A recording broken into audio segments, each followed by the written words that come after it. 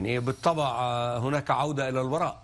كان هناك تصور سابق بان الحرب الباردة السابقة وما بعدها أن الحروب تكون دوما في المناطق في الأطراف وفي العالم النامي في الشرق الأوسط في إفريقيا في أمريكا اللاتينية.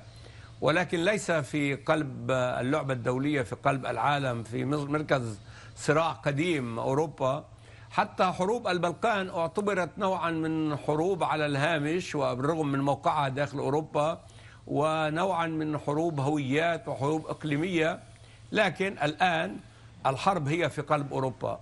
وبالفعل يعني يمكنني القول أن أوروبا أخذت على حين غرة أي الاتحاد الأوروبي بالضبط. ويبدو على عكس ما كان الأمر في أفغانستان. هذه المرة توقعات واشنطن كانت دقيقة. وللأمانة واشنطن قبل العملية العسكرية في أوكرانيا منذ أوائل ديسمبر أرسلت مدير مخابراتها لموسكو لتحذر من القيام بالعمل. ولكن في الحسابات والرهانات ورغم الجهود الأوروبية يعني أبرز الجهود قام بها ماكرون كان هناك سقف عالي جدا من بوتين.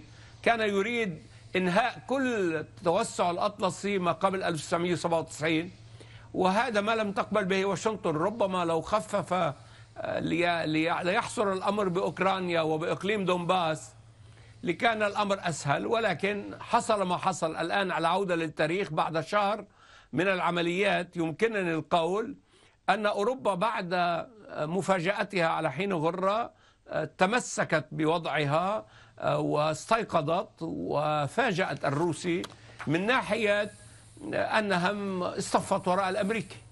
والأمريكي هو الذي يقود العمليات عن بعد 7000 كيلومتر وأتى الرئيس بايدن منذ يومين إلى بروكسل وإلى بولندا لكي يتفقد على الأرض إنجازاته لأن ذلك لم يحصل بفضل الولايات المتحدة. هذا الاصطفاف في إعادة إحياء حلف شمال الأطلسي وإعادة إحياء أوروبا ونوع من العودة العسكرية لألمانيا.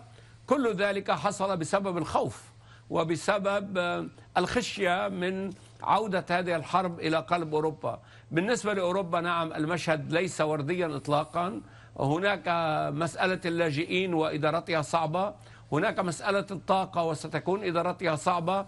في الشهر الأول حتى الآن لم نرى الانعكاسات الاقتصادية لكن سنراها أكثر.